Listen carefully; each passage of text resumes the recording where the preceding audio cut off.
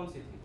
देखिए, मेरी पहले फ़िल्में जो बना करती थी तो वो दो तरह की फ़िल्में भारत में बना करती थी।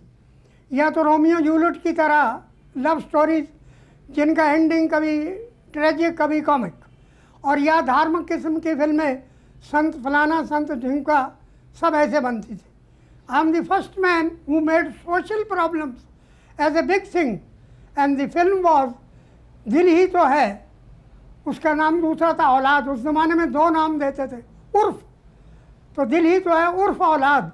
एंड दैट पिक्चर उसने दैट क्रिएटेड ए सेंसेशन और वो जब इधर कल मुंबई में जब उसके प्रिंट के साथ मुझे भेजा गया था because people had heard a name of Pandit Kedar Sharma but they didn't know that social problems भी कुछ प्रॉब्लम्स होती हैं।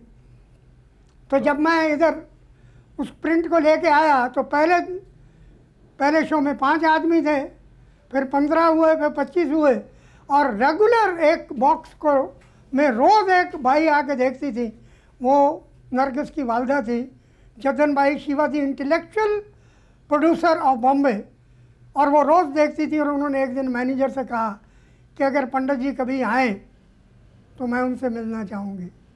तो वो बॉक्स में होती थी, एक दिन वो मुझे मिली तो जी- शिव हाँ जी।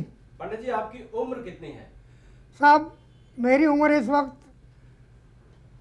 मैं यानी एटी सेवन एटी एट तक का है।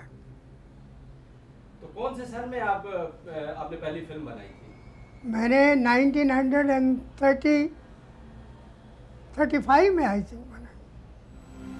हमारी